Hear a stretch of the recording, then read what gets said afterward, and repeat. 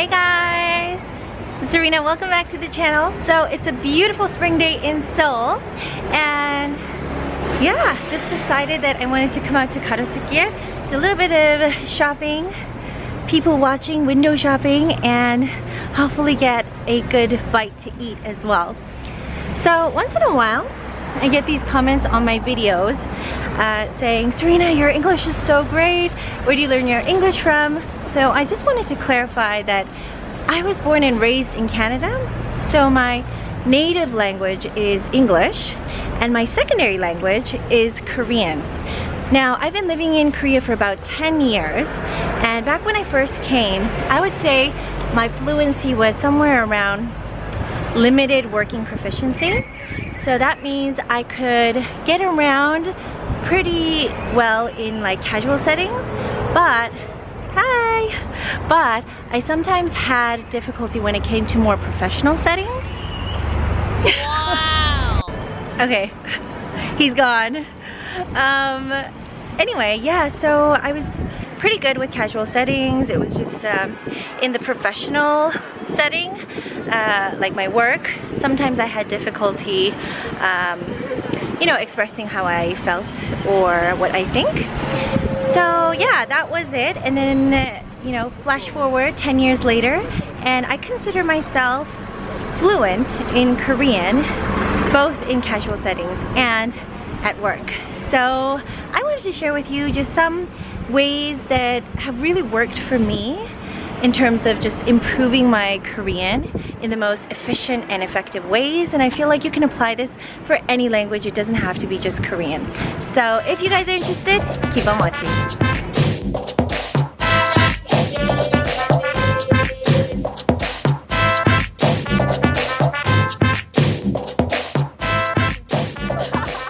So the first thing, one of my not my main reason, but definitely one of the reasons why I wanted to come to Korea was to spruce up my Korean.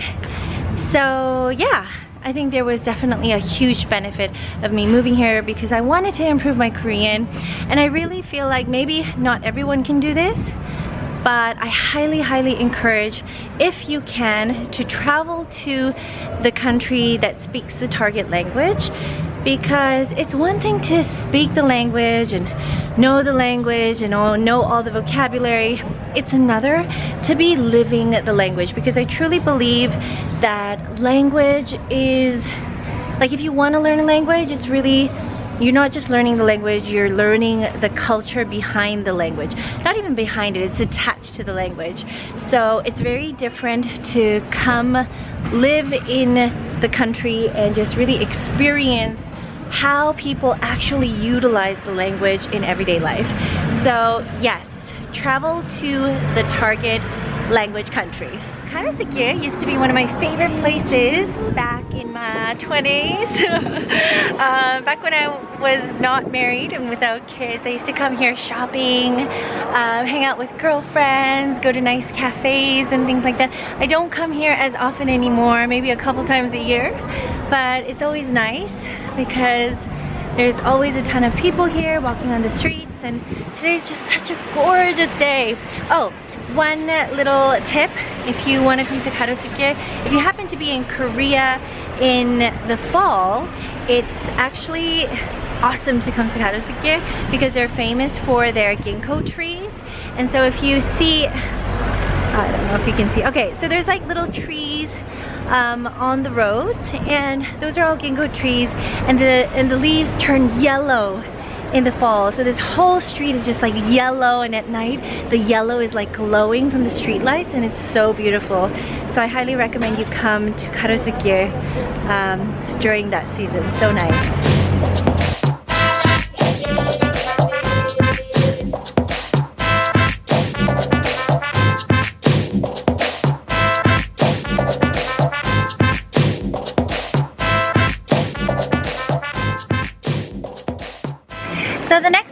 Give you guys is don't just learn a language in just one medium.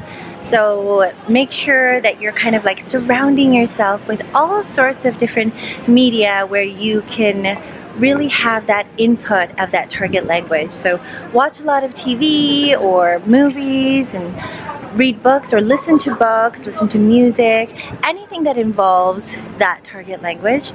Back in the day when I first came to Korea, I used to really like love watching dramas and I think it's really important when you are watching TV uh, in that target language to not watch it with the subtitles in English. The best is if you watch the show but with like that language is subtitles.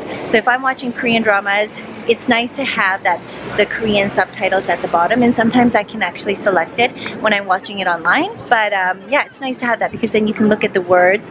But if you're constantly just having the English subtitles there, that just becomes kind of like a crutch and then you end up just like reading the English subtitles all the time.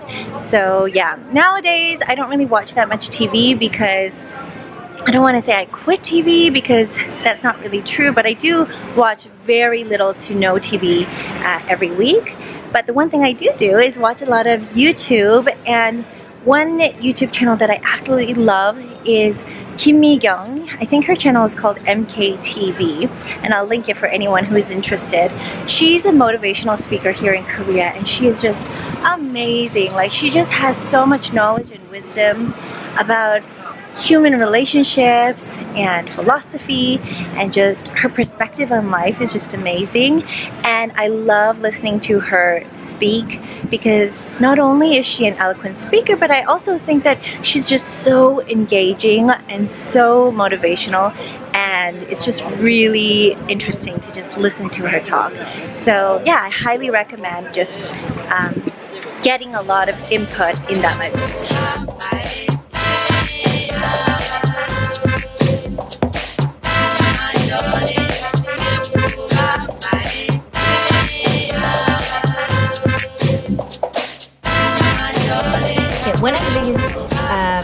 ways that I improved my Korean also was when I had kids because at one point I felt like they were so much stronger in English so I wanted to read them more books in Korean.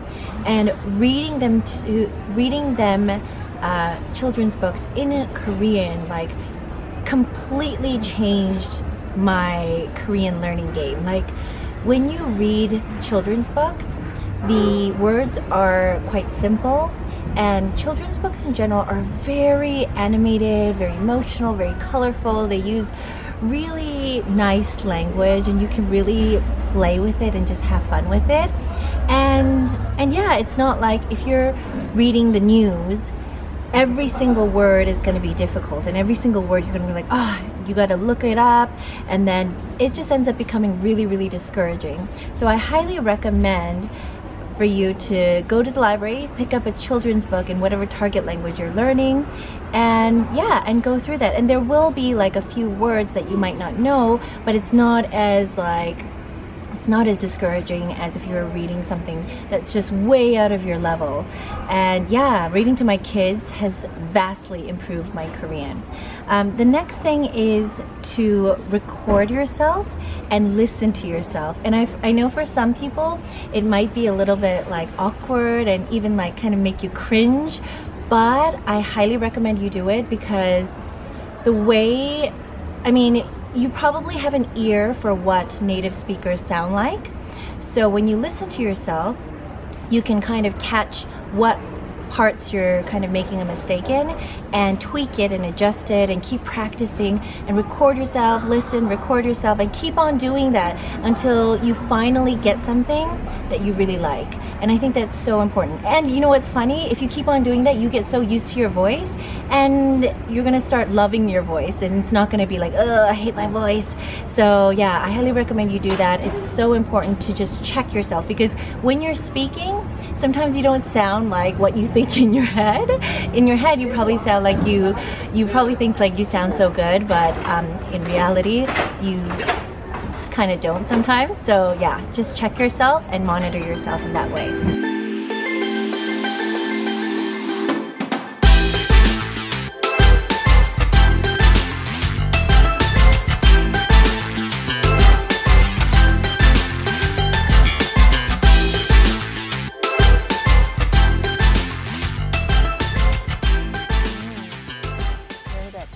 too sweet.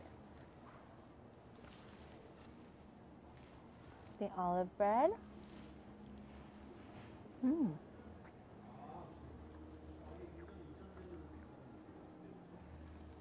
The next tip is to get a tutor and I think as an adult it's having a tutor is so different from when you had a tutor when you were kid. Because when you're a kid it's really the tutor who leads the lesson. But as an adult you can choose what you want to learn and you can basically lead the lesson I have a tutor for Mandarin currently, and I did have a tutor for Korean, maybe just for a few months. Uh, the reason for that was because I really wanted to improve my Korean, uh, in particular for TV, because I was hosting a show that required me to speak more Korean. So she was helping me with that, and I was very specific about what I wanted to learn. So same thing for Mandarin. When you're an adult, you can never really like be perfect at a language. So I think you have to be very specific about what you want to learn and why you want to learn it. So you have to figure out the why first. So for Mandarin, I just want to be able to take my kids to a city in China or go to Taiwan and just be able to be functional, to get around in cabs, to order things at restaurants, to buy things, book a hotel, things like that. And yeah, and just be able to just go about my day. So that's my main goal. So when it comes to my Chinese lesson, it doesn't make sense for me to learn anything outside of that. So yes, we do have a textbook, but I tell my tutor, okay, I really want to practice this today. And we go over that for like 30 minutes. And basically, I just tell her exactly what I want because honestly, I work, I have two kids, I really don't have time for um, for learning things that I really don't need. And I think just even that one hour and a half out of my week is quite a bit. So I just want to make sure that I'm getting the most out of that tutoring session. So yes, if you can afford a tutor, I really suggest that you get one. So the next tip is to uh, memorize vocabulary words on a daily basis.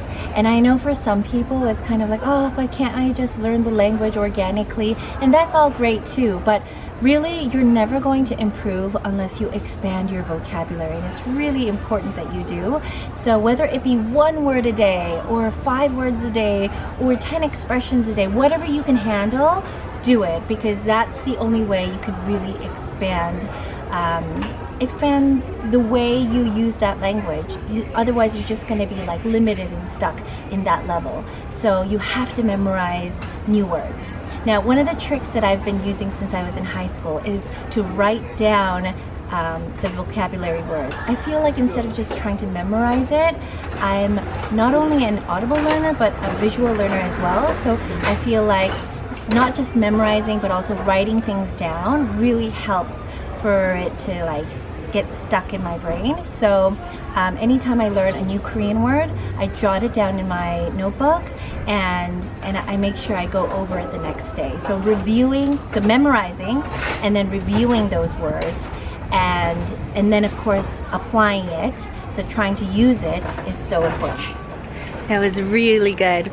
Okay, so my last tip is we live in a day and time where it's so much easier to learn a new language and that's because the world is so much more connected and we have so many useful tools specifically apps and YouTube channels and uh, blogs that really just offer lessons and advice for free. So I highly recommend that you, you know, find those sources.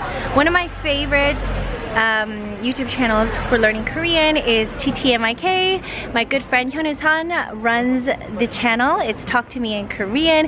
If you guys are interested in learning Korean, yeah, it's an awesome channel. They have great lessons that are very specific to certain expressions or certain themes. And yeah, there is so much out there and it's all for free.